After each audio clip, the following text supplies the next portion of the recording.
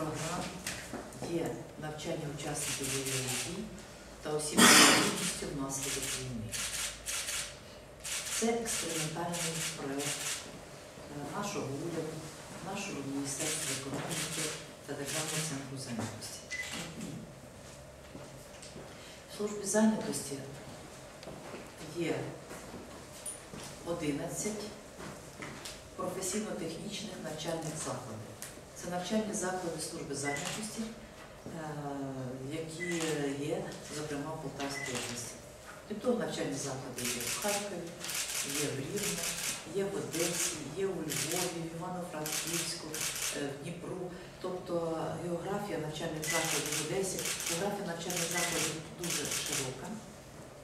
І е, наші навчальні заклади мають можливість навчати людей як з робітничим професіям, так і давати широкий спектр підвищення кваліфікації.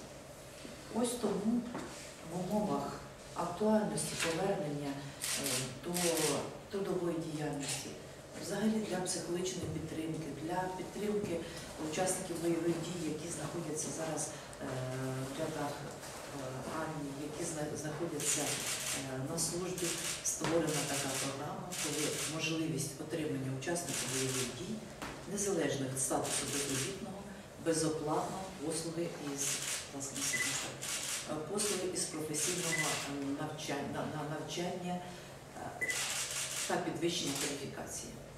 На сьогодні ми маємо 95 сучасних професій по всіх закладах освіти та 365 освітніх програм. Як діє цей механізм? Учасник бойових або особа з інвалідністю внаслідок війни звертається до ближчого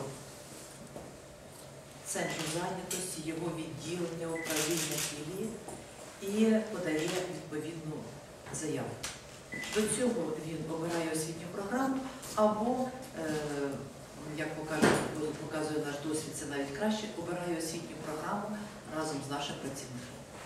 Якщо є потреба отримати якусь іншу освітню програму, ми готові для учасника бойових дій її розробити під його професійні потреби, знайти відповідно кваліфікованого викладача.